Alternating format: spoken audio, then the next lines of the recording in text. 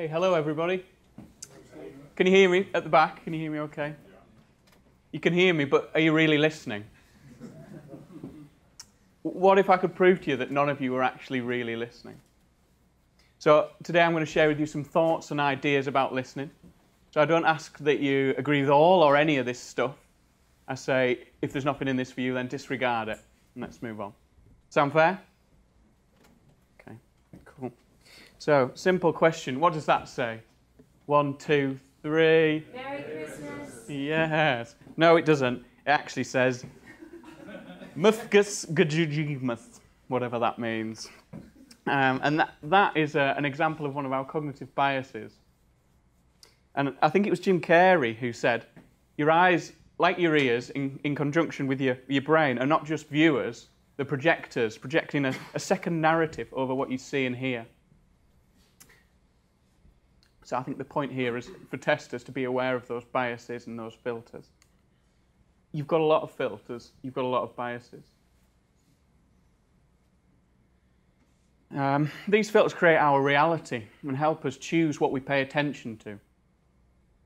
And one that's particularly important for testers, I think, is this one at the bottom, so intention. So, what is your intention when testing? Why do you test? Take a minute to, to, to just to think about why you test, because that's what you're focusing on naturally as you test, and you'll get what you focus on. Yeah, to just just consider why are you testing something? Why are you testing? So yeah, I'll leave that for you to answer yourselves. Maybe we'll come back to that one. That's a cognitive bias codex. And what strikes me from that is that there's a heck of a lot of cognitive biases you've got there, and a lot of things that can kind of trip you up. But maybe with listening, hopefully, what we're going to kind of go through is some of these cognitive biases over to the left hand side there. Too much information or not enough meaning are some of the kind of the biases, particularly that are kind of suitable for, for listening and we, the, the traps that we sort of fall into. So I'm not going to go into that in any more detail, but that's just a useful tool to look at those biases and, and think about what you might be falling into when you're testing or when you're coaching or, or any of those sort of things.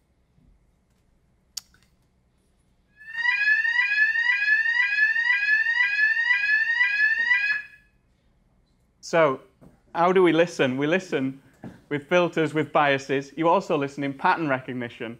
And that should have been a pattern that you all recognized. Did you recognize that one? I was about to run out. Yeah.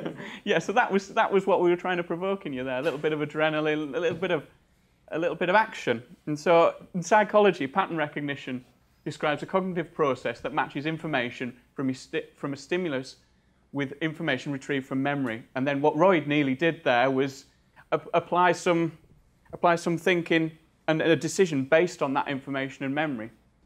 So that's something we, we learn from a very early age to distinguish between those patterns. And we distinguish, distinguish between familiar and comforting patterns and things that are scary and different. And that maybe was an example of something that was scary and different, something that provoked a response. So another example of that would be your name. If I said Royd, David, Gwen, Peter, maybe you would look up and stop playing on Twitter. maybe you would recognize that. Um, and in the 1950s, a, a chap called Colin Cherry um, observed something, first recognized the cocktail party effect, that you would recognize your name in a very crowded, um, in a very crowded area with lots of people talking. You, there'd be a conversation you weren't listening to. You'd, you'd hear that pattern of your name, and then you'd suddenly become aware of that conversation so yeah, we listen in pattern recognition. On the next slide, what I'm going to do is I'm going to show you a slide full of O's, zeros, and one Q. And what I'd like you to do is I'd like you to put your hand in the air at the point at which you can see the Q. Yeah? Everybody understand? Okay. So find the Q and hand in the air when you can see it.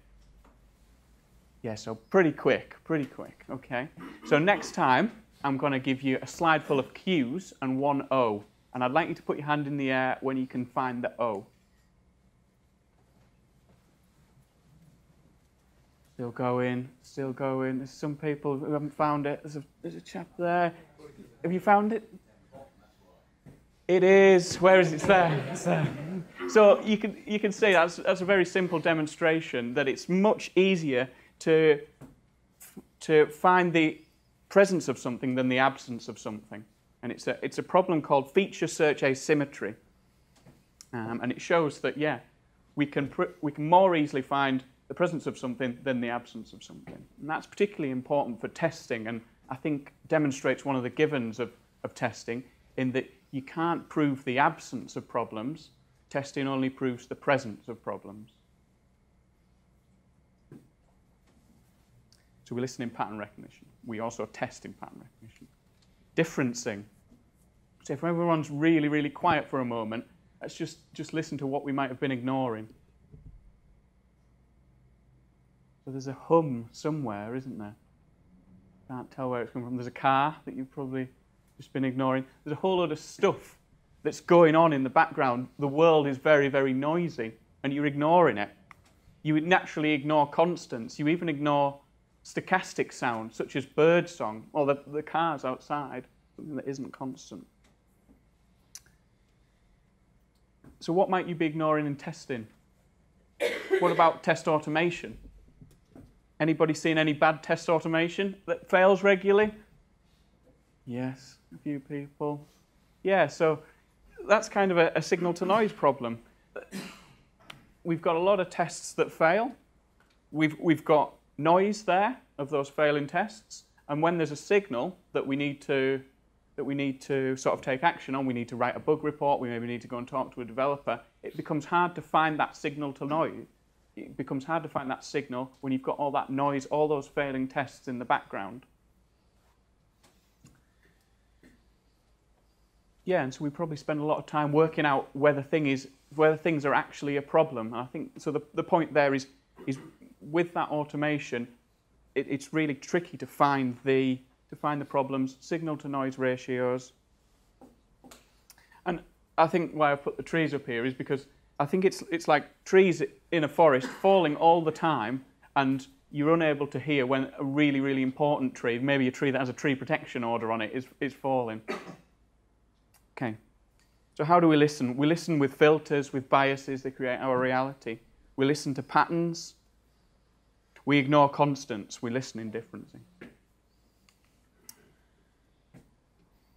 When I was researching for this talk, I, I, wanted, I wanted to talk about the skills of listening, but I didn't really find anything that sort of sat well with me about the skills of how we listen. And, but what I did find was listening modes.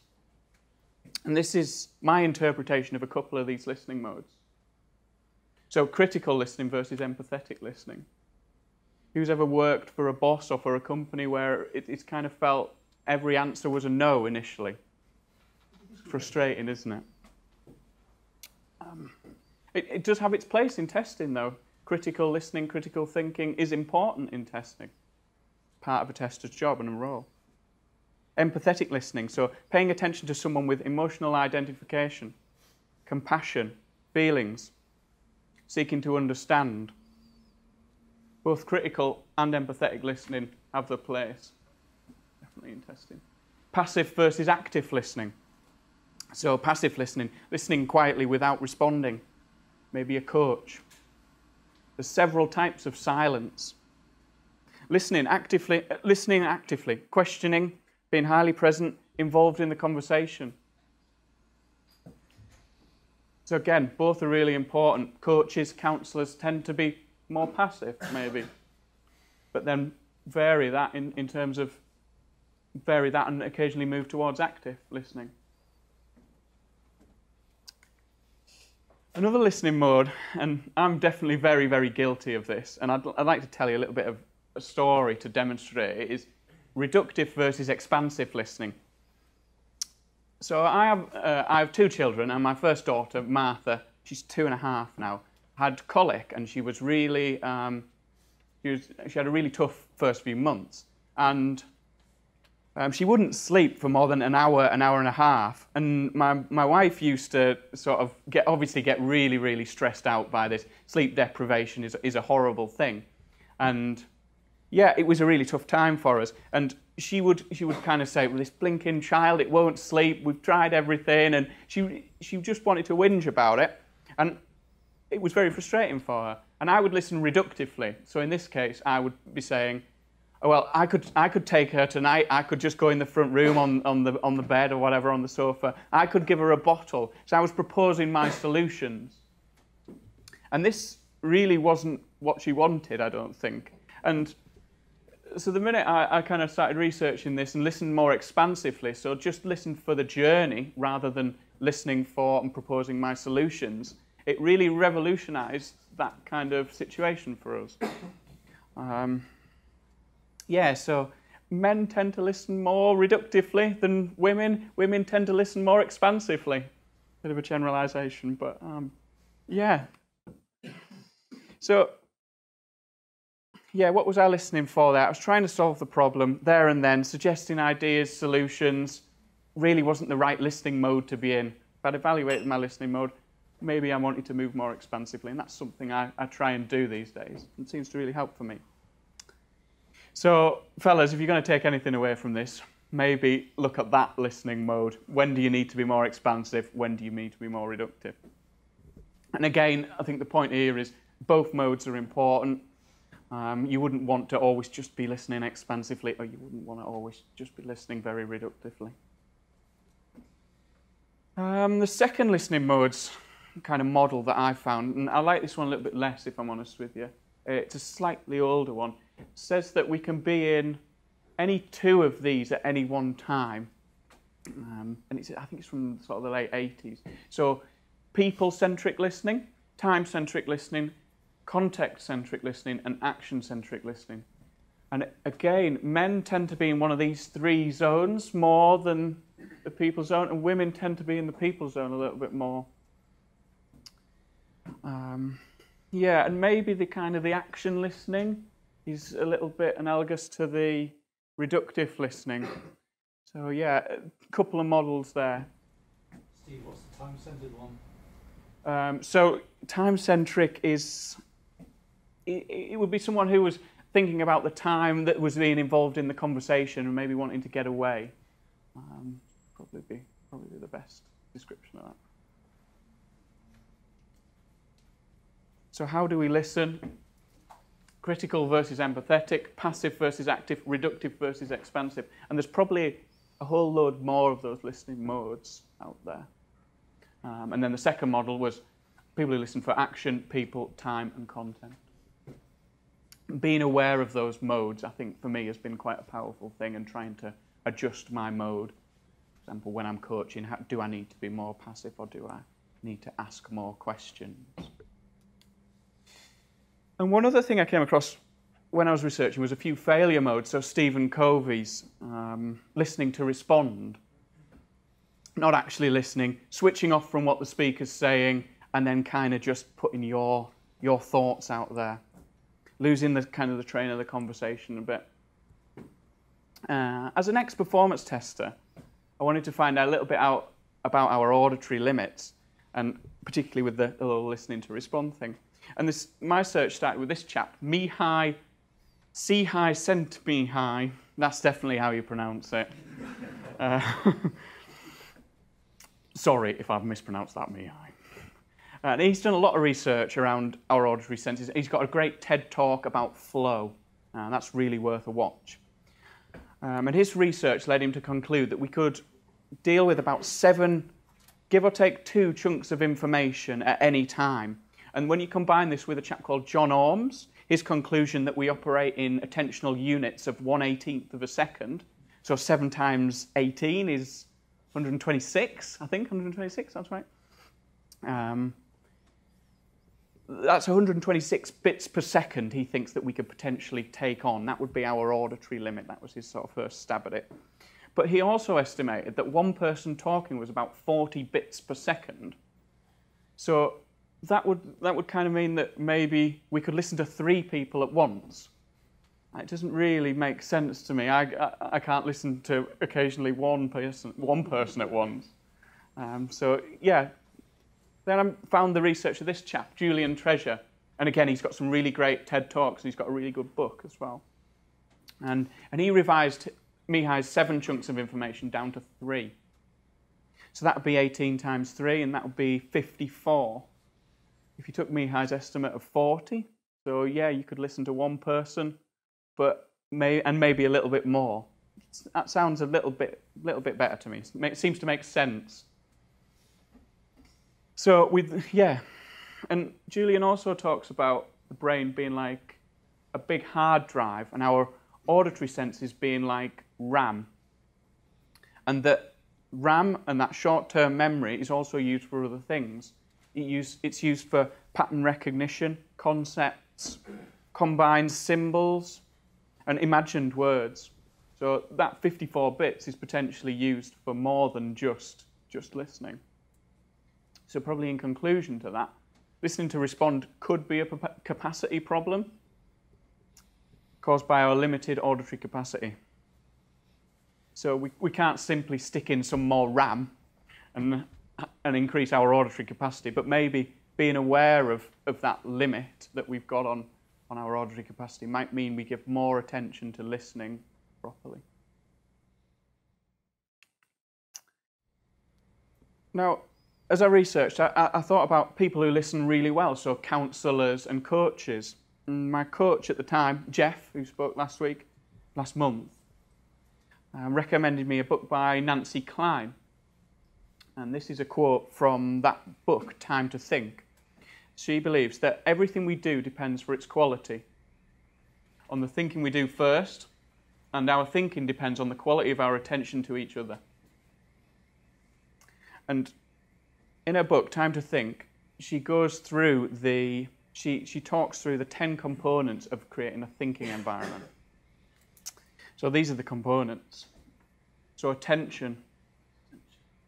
Attention. So probably the most important component in a thinking environment. It's the key to creating it, in fact. Genuine interest without interruption. But attention isn't, isn't enough. Without ease, where's ease? Ease. Without ease, we probably can't create a thinking environment. Have you ever had, say, a manager or a colleague over your shoulder when you're trying to do something and you just feel a bit pressured and it, suddenly you, you lose the ability to type? Maybe we've not got ease there. Appreciation. So Nancy doesn't simply promote appreciation for appreciation's sake. It's a balanced ratio of appreciation to challenge. So I think five to one she talks about. Five appreciations to one challenge. So feelings, when feelings start to show themselves, thinking very quickly stops. If we, if we acknowledge feelings, then and with, with ease, then those feelings will subside and good thinking can resume. Information, so a key one for testers. As testers, we don't want to be called quality assurance. We don't want to be stood by the gate shaking, thinking, oh my God, if I let this into production, they're going to fire me. We want to be information providers. We want to test things, provide that information. So we need to provide accurate and relevant information, key skill of a tester. Incisive questions. So everything we do as humans is driven by assumptions, those biases. I showed you the, the cognitive biases chart. There's a huge amount of those things. So incisive questions seek to challenge those assumptions, those filters, those biases that we have. So testers ask great questions, and it's a skill of your testers to, to ask questions that other people don't ask, to ask incisive questions. And yeah, massive part of the value of a tester for me is how they ask those questions. Okay. 10 components of a thinking environment. So in conclusion, how do we listen? We listen with filters, we've got biases, we listen in differencing, we listen in pattern recognition. We've got varying different listening modes. It's important to be aware of where you're listening from and alter that mode to where you think it's appropriate. We've got a limited auditory capacity and testers create great thinking environments. So these are all the people I need to say thank you to really for their research and their work. Without that work, those guys, um, there wouldn't be any talk really. Yeah, so thanks to those people. So and I'd like to leave you with a mnemonic. So it's listen. Look and listen. So only 7%, and it might surprise you, only 7% of the meaning is conveyed by the words used. The other 93% is in the non-verbal stuff, your facial expressions, your tone of voice. So bringing this back to testing and performance testing, for example, are you, are you only taking that 7% into account? Are you only looking at, for example, the response times from the system? Are you not seeing the body language of how the system performs, the resource utilization stats? Are you not looking at the login? Understand the meaning of your, of your system. So look and listen, not only to people, but also to your systems that you're testing. Interrupt. So Nancy would say it's an, it's an act of violence to interrupt in a, in a thinking environment, so don't interrupt. Summarize. So what I'm hearing is, it's a key phrase for me. So we've talked about, play it back to somebody. Test or check your understanding. Testing versus checking is an interesting debate in the testing community. So test your understanding. So what I'm hearing is, is that right? Test your understanding. Make sure you're on the same page. Evaluate. Evaluate your listening position, your listening mode. Get in the right one. Neutralize your feelings. Listening isn't about you. Neutralize your feelings. So I'd like to finish by asking you to join me in listening better, being more aware of your listening mode, creating thinking environments, making your business analysts thinking better, your scrum master, your tester, whoever, you, the people around you at home, your children, your wife, your partner. Make their thinking better. Yeah, so I invite you after this, ask somebody a question. Look and listen to how they're responding. Don't interrupt. Summarize what you've heard. Test your understanding. Evaluate your own feelings. E evaluate your listening position and neutralize your feelings. So, thank you very much for indulging me. Um, that's all I've got.